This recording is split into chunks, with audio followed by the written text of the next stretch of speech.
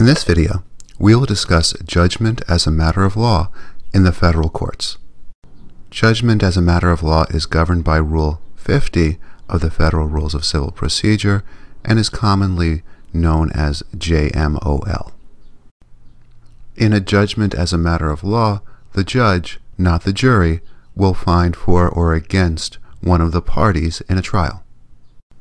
So when is judgment as a matter of law available? JMOL is available before the jury begins to deliberate, but only after one or both sides have finished presenting its case. So for example, after the plaintiff finishes presenting his case in a civil litigation, the defendant can argue, look, no reasonable jury could find in favor of the plaintiff, so the court should find in my favor. Similar to a motion for summary judgment, in a motion for JMOL, a party is saying all of the important facts and the law favor my side. So let's say the judge agrees and says all the facts and the law favor one side. If the judge grants the JMOL, she is saying we don't need a jury on this issue. The judge, not the jury, will decide that as a matter of law, for example, the plaintiff loses. But she won't grant judgment as a matter of law if she thinks a reasonable jury could find in favor of the plaintiff. The case will go to the jury. Asking for JMOL is a good strategy for several reasons.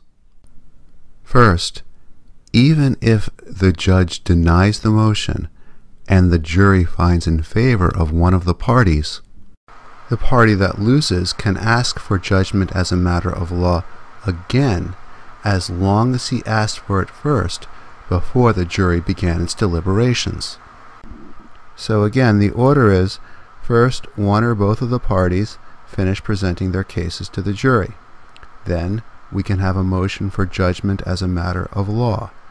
If the judge denies the motion, then the case goes to the jury and the jury will render a verdict.